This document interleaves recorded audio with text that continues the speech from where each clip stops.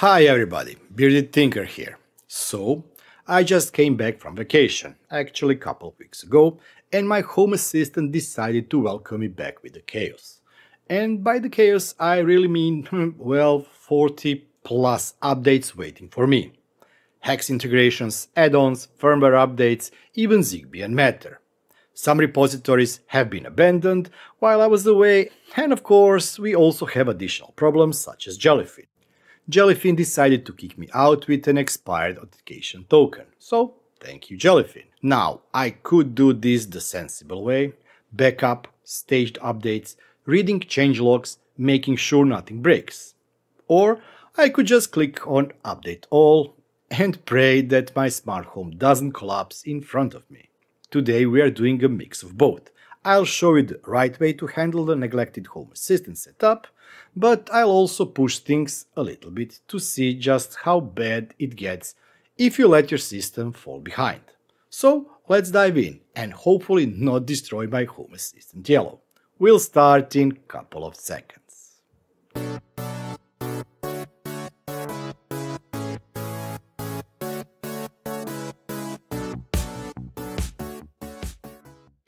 As you can see, it's not pretty. Everything from the cards like Mushroom, Bubbles, Apex charts to utilities like Power PowerCalc, Tuya Local all want update. And then there is this, Simple Thermostat, one of the things that is gone, abandoned. Same for a couple of others. That's the risk when using custom repositories. If the maintainer stops, the integration also stops. This is why you shouldn't just install every shiny thing in HACS. Yes, I'm looking at you or me from 6 months ago. And here is the Jellyfin asking for re-authentication. Nothing major, but it's another reminder that stuff breaks while you are not looking. Okay, let's talk about strategy. If you are ever in this situation, here is what you should do. Take a full backup. Go to Backups, Backup Now, Manual Backup, and tick all you want to do snapshot off. Home Assistant settings, history, media if you want, but remember this will create a very large backup file, share folder and select add-ons. I will be doing a full backup. Give backup a name before all updates in my case, select location where you want to save the backup, in my case this is all 5 locations, and they are this system, Synology, Home Assistant Cloud, Google Drive and also Synology DSM. Click on Next and click on Create Backup. This will of course take some time, so don't rush, just wait for backup to finish. The next step for us is to start small. Update HACS components first. They are usually safe and very easy to roll back. Move then to add-ons and firmwares. These are the riskier because they can break your Zigbee, Z-Wave or even create boot issues if something goes wrong. That should be the responsible way. But of course, I might ignore all of my own advices in just 5 minutes. So let's get started with the updates. I'll start with the HACS components. You can for example start with the cards because they do not require updates.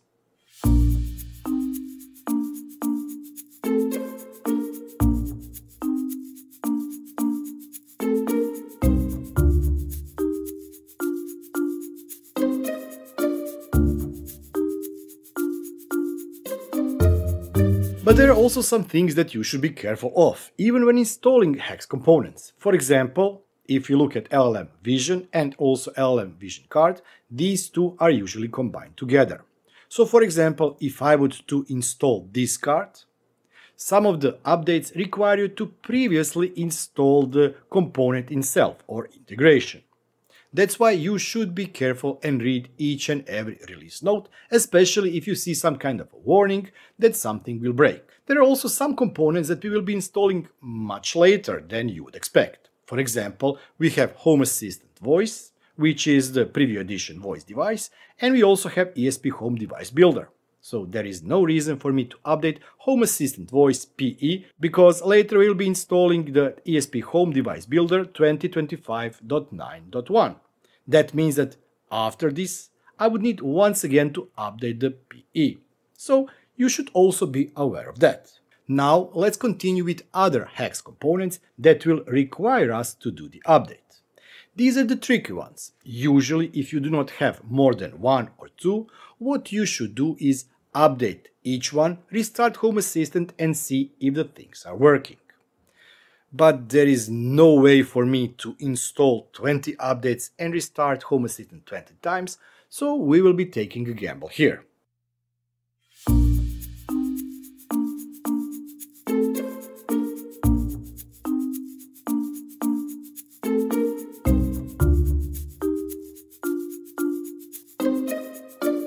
And that's it, now we have updated almost all HACS components. There is one that I haven't updated, this one here, but this is topic for a little bit later down in the video. So what should be the next step? The next step is of course restart your Home Assistant. Developer Tools, Restart, Restart Home Assistant. This will make sure that we know that our Home Assistant is working after all of the HACS updates. If something fails, we can revert. If not, you could potentially do once again backup of your system with all of the updated HACS components and then continue with the other updates. These will be add-ons, firmwares and similar things. Our Home Assistant is restarting, so what we could do is go to Overview and check if, for example, we have any issues with any of the dashboards in our system. So far, mostly everything looks okay. Except the AccuWeather, but that's topic for a separate video. Now it's time for the next step. Go to Settings, Show all updates, and let's do updates of the add-ons. We'll start and do one by one. For each of the updates, you of course can select and choose if you want to do a backup, for example, from this 21.02 to 21.03 version, or you can disable it. By default, I leave everything always to do backup. Let's wait for Home Assistant to finish startup, because the update at this point would not work. And now that Home Assistant has restarted, let's click on Update. But also you should note one thing. If you have multiple add-ons that you want to update, and you select that you want to do backup of each and every component, you cannot start at the same time more than one updates of the add-ons at least not until the first one has finished with the backup. If you try that, it will say that it cannot do backup and it will fail. But then again, also my recommendation for the add-ons is do one by one.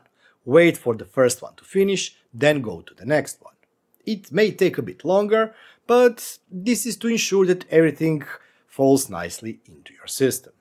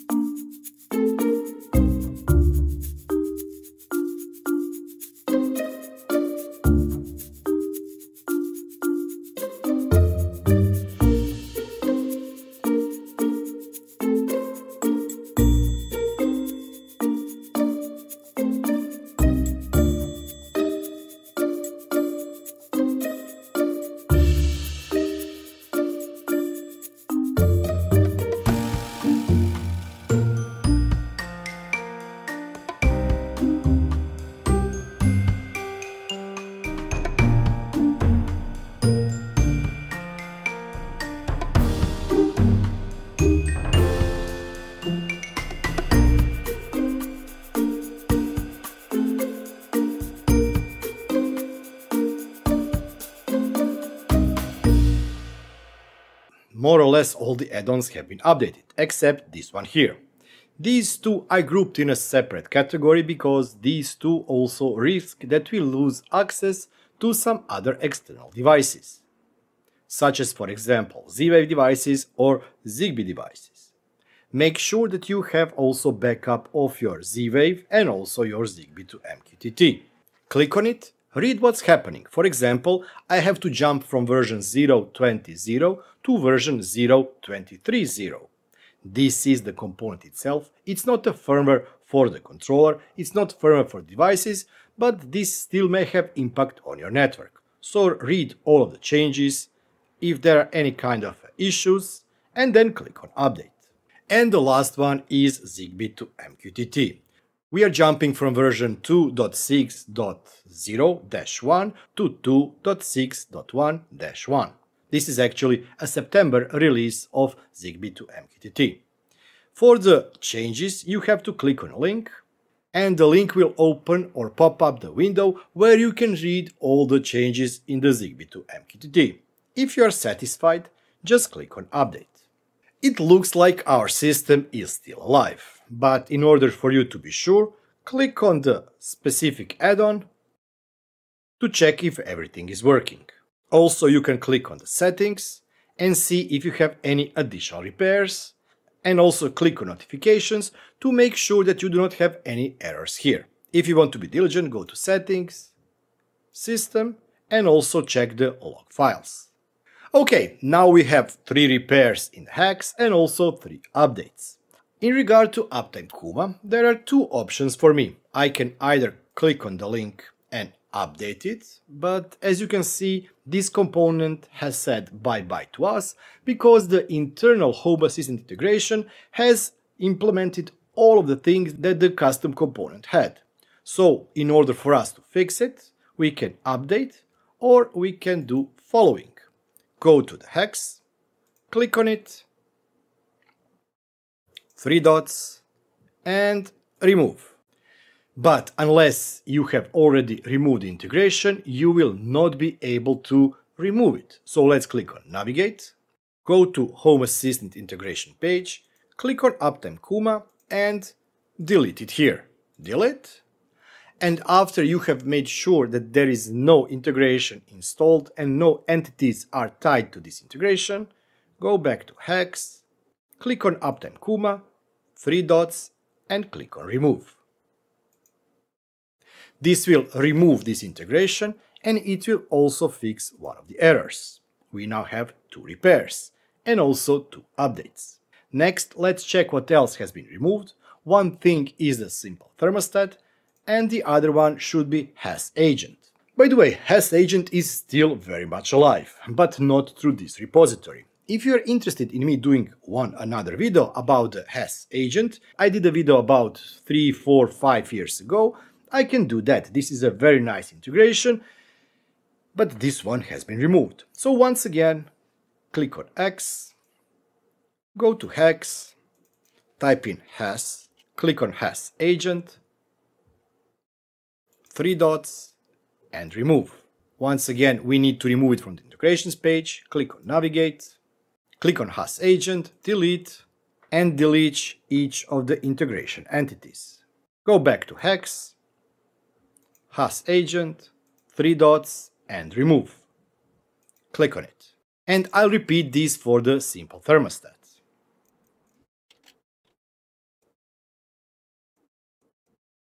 We now have only two things to do.